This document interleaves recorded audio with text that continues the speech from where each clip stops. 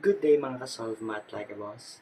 Today, um, pang grade 10 naman yung video natin and it's all about arithmetic sequence. So, medyo hirap ba tayong gumamit ng formula? Like, tumanda ng formula? So, wala nang problema sa arithmetic sequence. You forgot the formula? No problem. I gotcha. So, the easiest way or the easy way to get the end term or the explicit formula for an arithmetic sequence or for a sequence. Okay, so let's start. So find the explicit formula in the 15th term in the in the sequence 1, 3, 5, and 7. So yung sa arithmetic sequence, so that's automatically, meron siyang common difference. So kapag ganito yung binigay, 1, 3, 5, 7, tapos hinahanap mo yung yung pang 15th term, syempre wala ka pang formula. Kung hindi mo kabisado yung a sub 1 plus a plus n minus 1 times d, mga ganon, ganito lang yung gagawin mo. Ha? Makinig mabuti. Um, ganito lang siya kasimple ha. Subtract mo lang to. Minus mo lang. 3 minus 1. di ba? 2 yun. So, ibig sabihin, ang d mo or common difference mo 2. Kasi nga, sequence naman yan eh. Kasi 5 ma- minus 3, 2. 7 minus 5, 2. Tapos, automatic na, yung 2 na yon um, lagyan mo na agad ng n. Ano yung n? Yung pong n, ito po yung yung term na hinahanap. Halimbawa, what is the 10th term, 15th term, yung n, yun yung pang ilang term. And then, ganito lang yan. Um, di ba tandaan nyo, kapag pasit, pagpataas yung value, positive yung difference. Kapag pababa yung value, ibig sabihin negative yung difference. So, ibig sabihin, pataas naman yung 1357, so positive ang difference, kaya positive 2 and 2. And then, ganito. Kapag meron ka ng 2 dito, at mas mataas siya doon sa 1, gawin mo, i-minus mo lang yan. 2 minus 1, so ibig sabihin, ilan? Ilan? So, ibig sabihin, meron tayong minus 1. Para makapunta ka doon sa 1, kailangan mo mag-minus 1 sa 2. So, ibig sabihin, pag mataas tong value nito papunta doon, daging minus yan. Okay? So, ito na ngayon explicit formula natin. So, try natin gamitin. Um, di ba alam natin ang n mo, ang 1 mo ay 1. So, if n is 1, 2 times 1 is 2 minus 1, correct. If n is 3, 2 times 3 minus 1, ah sorry, if n is 2, kasi nga pangalawa yung 3, so 4 minus 1, that's 3. Ayun o, check. Ito pangatlo, di ba? So, 2 times 3 minus 1, so 6 minus 1 equals 5. Chine-check ko lang. And then, yung fourth term mo, 2 times 4 minus 1, so that 8 So that's 8 minus 1 and that's 7. Diba? Check. So madali mo na makakuha 15. So 2 times 15 minus 1. So 30 minus 1 is 29 is the answer. This is the 15 uh, 15th term in the sequence. 29. So ganun lang yan ha. Let's have this one. Find the explicit formula in the 12th term. So dito, tignan mo mabuti. From 10, naging 3, tapos naging negative, tapos naging negative. Ibig sabihin, ang value mo ay pababa. Kapag pababa po ang value, ibig sabihin, ang difference natin ay meron tayo negative difference. Ano yung difference? Yung common difference, yung D. So, dito, since alam mo naman na negative, dapat negative yung D mo. 10 minus 3, 7. So, negative 7. Bakit 10 minus 3, di ba second to first? Ganun lang din yun. Basta tanda mo, alam mo na negative kahit ano na minus mo, kahit pag ganun or pag ganito. Kasi 3 minus 10, negative 7. So, ang gagawin mo, yung di mo na negative 7, so negative 7n. Ganun na lang agad. Ngayon, ano ngayon dito? Kapag ang negative, kapag ang value mo dito, negative 7, ay mas mababa doon, ibig sabihin, kailangan natin mag-plus.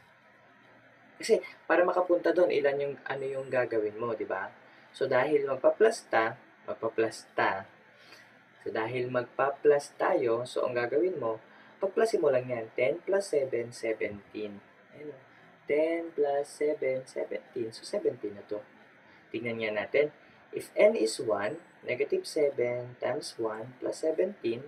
So, negative 7 plus 17, so that's positive 10. Ayun no, check.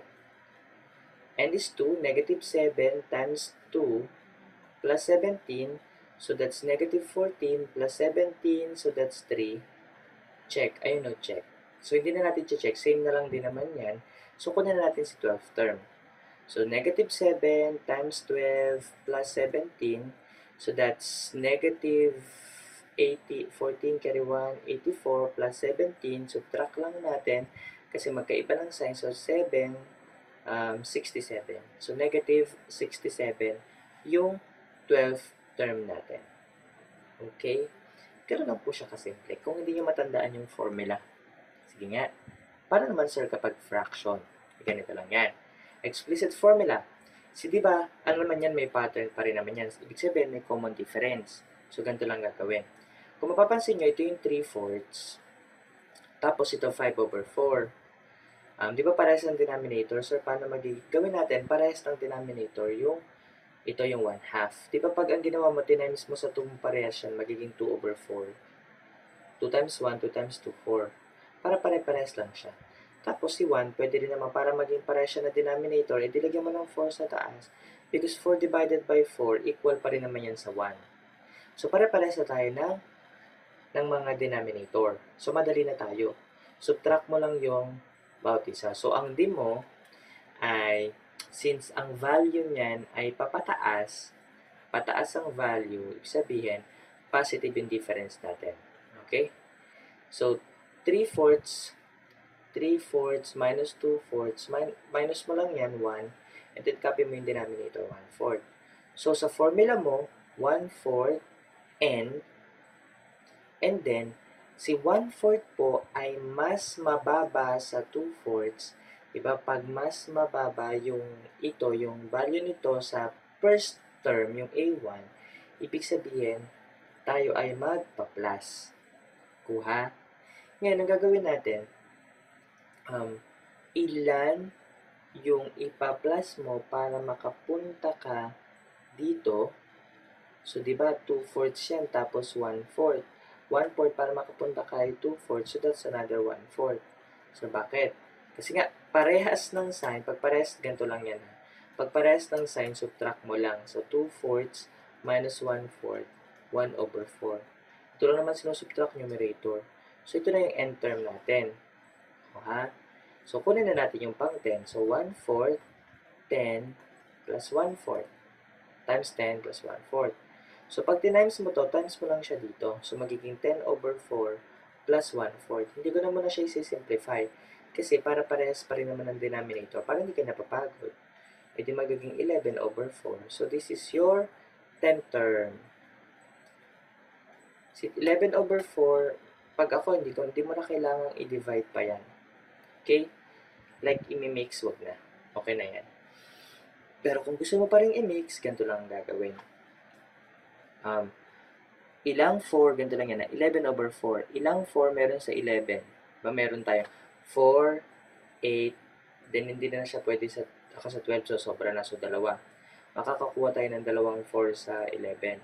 Ilan ngayon yung sobra ng 11 doon, di ba? 2, di ba? 4, 8. Ilan siya para makapunta sa 11? Tatlo. And then, copy mo lang yung 4.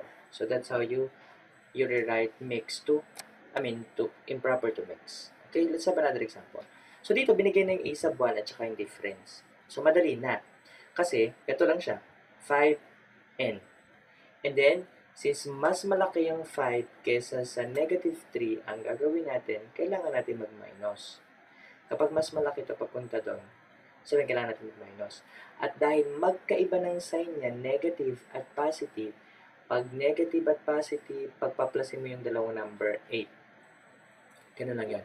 Pag magkapare sila ng sign, susubtract. Pag magkapare, magkaiba ng sign, i-add. Okay? So, ito na yung enter natin ito na yung um, explicit formula. So, ano ngayon? Yung 15 term. So, substitute mo lang yung n. So, 5 times 15 minus 8. So, that's 75 minus 8. And that's 67. So, 67 is the 15th term. Ganun lang siya kasimple. Okay? Next. Yan. Paano naman kapag word problem? So, math test ACE. So if the 10th, 11th, and 12th terms of an arithmetic sequence are 18, 23, and 28, what is the 20th term of the sequence?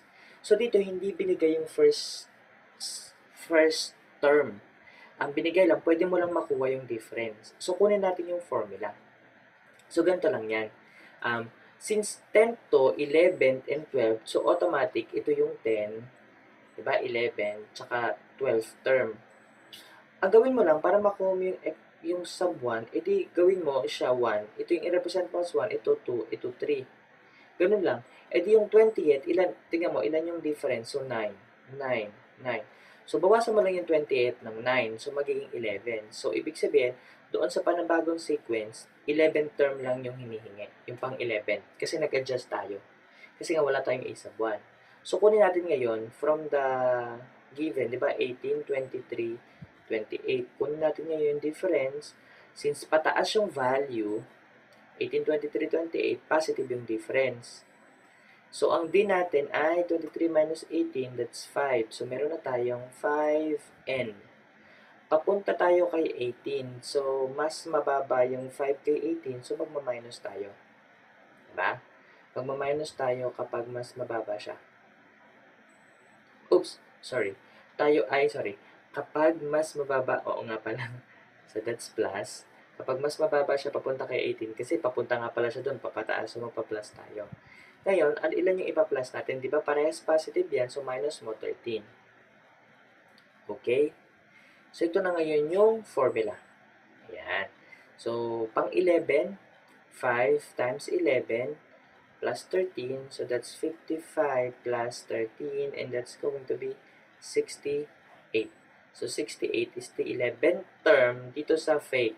Sa original, pag binalik natin, 68 is the 20th term. Nag-adjust lang kanina. Okay? Ganun lang siya kasimple, yung formula. So, that's all. Thank you for listening. So, I hope you learned something. So, if you're new, please consider subscribing to my channel. Thank you.